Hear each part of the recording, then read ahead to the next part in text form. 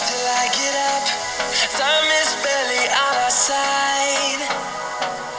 I don't wanna waste what's left. The storms we chase are leading. Hey guys, today I'm going to be showing you how to get your own gaming logo for free, no watermark. So you want to open up Google Chrome and you want to search placeit.net.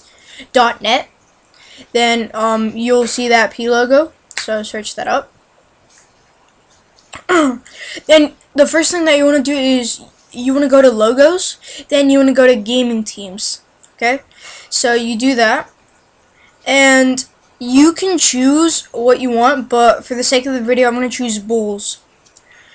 So, to sign up, you can choose like a random email. It doesn't have to be yours.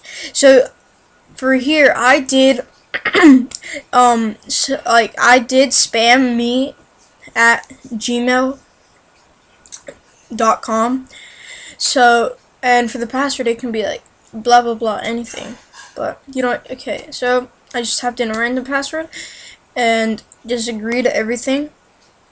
And and do I'm not a robot. Okay, sign up.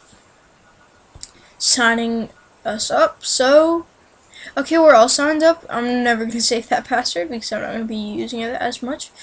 So as you can see this, and you can see that big watermark in the middle, which is like place it. Like if, if you can see that I'm gonna circle it so y'all can see it better. Like y'all see this big watermark. We don't want that watermark. We do not want that watermark.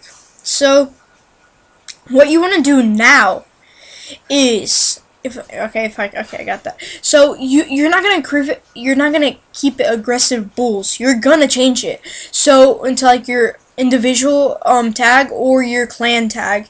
So when you change it the big um the big um watermark goes away, and there's a smaller one like in the background which you can hardly tell. If you're looking at it on a phone or on an Xbox or on a PlayStation or like etc. And you can change the icon to a deer or like anything else. Like it, as you can see and you can scroll up and down. It merges it instantly. You don't have to do it like you don't you don't have to um like merge it and photoshop it together. It does it automatically. And it doesn't even take that long. So you can change the color of it and you can also do yeah black and yellow. It, it make any color looks good. And um right here I changed the the font. You can see the fonts and you can change the color and to buy it like you don't like you're not gonna um pay $39 for it. So save the image and bam.